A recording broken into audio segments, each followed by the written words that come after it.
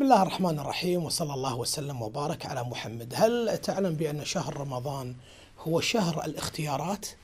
اختار الله عز وجل فيه محمد صلى الله عليه وسلم ليكون النبي الرسول الخاتم.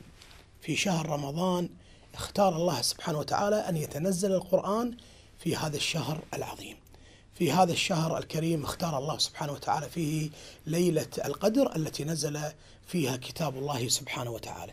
إذا كانت هذه الاختيارات كلها في هذا الشهر المبارك، لماذا لا تهتم بقراءة كتاب الله عز وجل وأنت مهتم، ولكن زد في ذلك الاهتمام وأكثر من القراءة فإن النبي صلى الله عليه وسلم كانت له مع القرآن في رمضان شيئا كثيرا وخاصة قراءته وتدبره ومراجعته.